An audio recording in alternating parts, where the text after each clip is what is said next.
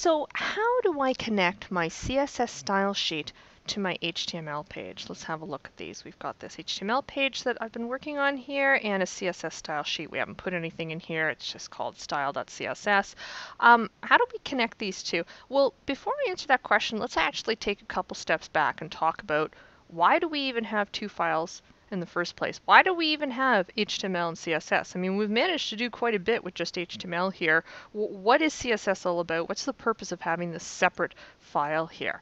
And uh, to answer that, let's have a look at the site that we're building, the, the page that we're building here. We've got our nice coming soon page. I've got an image here, and I've got you know a, a heading here and some text. And all right, that's fine. Let's compare it to the page that we're trying to build. And I mean, obviously, these, these look really different, right? Well, yes and no.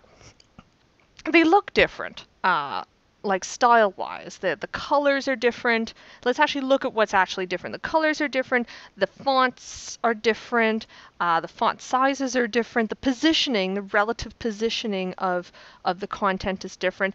But when it comes right down to it, the content, the content itself is actually the same, isn't it? Right? You've got exactly the same image. I mean, it looks it looks a bit different. It's been formatted a bit differently here, but that's the same image. It's the same text. You know, um, it's the same graphics down here. It's the same content. Everything is the same content, and that's the job of HTML. The job of HTML is to provide the meaning of the web page or the document in question. You're you're putting the meaning, uh, the content of your page in the HTML document. Okay? And everything else, the decoration, the how it's going to get laid out and the colors and all that stuff, that's just decoration. That's just style, if you will, right? There's no content that's being changed. It's just the style. And the style is what the CSS file controls. Now, it didn't actually always used to be like that. Back in the day when HTML first started, um, people used to, we didn't have style sheets, uh, cascading style sheets, and we used to put all of this in the same page. And, and you know, this might seem simpler, right? But it's actually not, because I don't know if you've been on the web lately, but most websites actually are consist of many more pages than just one single page. There's like hundreds and thousands of pages that make up a website. And so imagine if you had information like, okay, I want a dark red background on my web page, and you somehow encoded, never mind about how it would be encoded, but you somehow encoded that information on each HTML page. So, right, okay, we could do that, right? But then what happens when, let's say you're you're in charge of the way you're the webmaster for your company, and then your boss comes and comes to you and says, you know what? I, you know, I've, I've, I've had a brainwave. I don't want a red background anymore. I want a blue background. And so where does that leave you? Well, I'll tell you, back in the day, that left you cutting and pasting and editing the code for thousands of HTML files just to change a simple background. And as you can imagine, that was kind of a big pain in the rear. And so what style sheets allow us to do is these style sheets, this, there's only, you really only need one single style sheet for an entire website. Now, in reality, people often make multiple style sheets, and there's technical reasons for that, but that's kind of beyond the scope of this tutorial. What, what I want to impress upon you is that, you know, if we were building a full website around here, we would have multiple HTML pages, but we would only need to have one style sheet that would control the look of every single page on your website. And believe me, that's a really, really handy tool to have. And so let me show you how this works. Um, first of all, so let's say you wanted to somehow start building a style sheet that's going to control the look of this site, this page right here. What you need to do is you need to have some way that the browser, when it loads your page, knows where it can go find all those styles. And so we're going to add a tag in here. And we're going to add a tag connecting it to this. And where do you think you're going to put that tag? And I'll give you a hint. Remember back when we were talking about, about the role of head versus the role of body? And we were talking about how the body contains all your content and the head contains all that administrative information.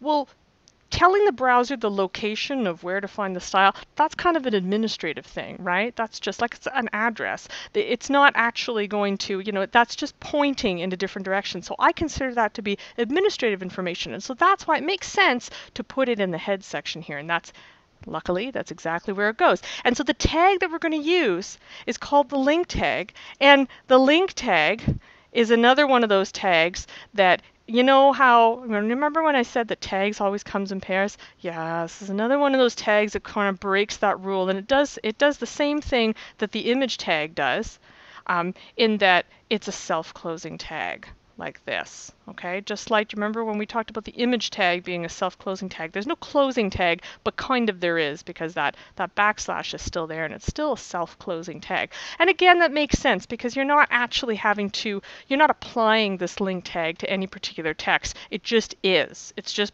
plopped into your head section of the HTML document. So there's a, there's three different attributes or attribute value pairs that we need to add to this link tag. And the first one, the first one is is really simple. It's REL, which stands for relationship.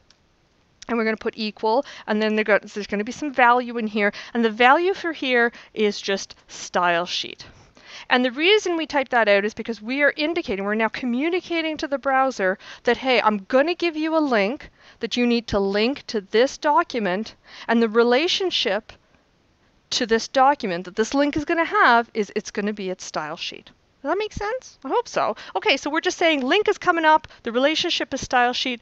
Let's move on to the next attribute value pair. The next attribute is called type equals and in here, it's just text slash CSS. And this is where you're telling the browser, okay, and so this link I'm about to give you, the type of link, the type of file it is, is, oops, I, I typed test. Ignore that. There we go. Text. Okay, the type of, of file that I'm going to connect, that I'm going to link to this, it's a text file. And we already knew that, right? Because we know that HTML and CSS files are all text files. They're just plain text files. And and furthermore, you know, the kind of the subtype of, of text file it is, is a CSS. This is a very specific type of text file. It is a CSS text file. So that's why we say type equals text slash CSS. And finally, probably the most important attribute, although they're all important, is the href attribute. And hey, we've seen this one before, haven't we? This href. Where have we seen that? We saw that in the link tag. Yeah, it's the same attribute. And you'll see different attributes used in different places. So here we go. We need to put the href tag there. And what do we type in here? Well, what's the value? Sorry, did I, I called it the href tag. It's not a tag, it's an attribute. So what's the value of the href attribute? In this case, it's just the location of the CSS file that you're trying to link to. And now it is the relative, lo no, relative location. And last time we saw relative locations was down here right? And when we talked about that, but we don't have to we don't have to indicate a folder because if you recall from here, if we have a look inside here, this style sheet, which we had already made a, a blank one, it's located on the same level as the index.html file.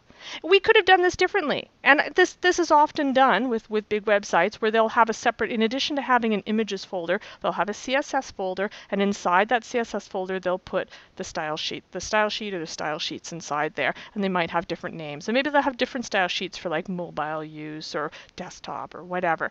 And and so in that case, you would have to actually indicate the relative location by indicating, you know, the folder name slash the, the file name. But in this case, we can tell it it's safe to just write the file name, file name being style.css, because it's located at the same location. It's in the same directory that we're currently located. So that works fine. So this, in its entirety, is telling the browser, hey, I got a style sheet coming for you. This style sheet needs to be applied to index.html. Um, the, the, it's the relationship of style sheet. The the type of file, it's a text file, and it's furthermore it's it's a specific type of CSS text file.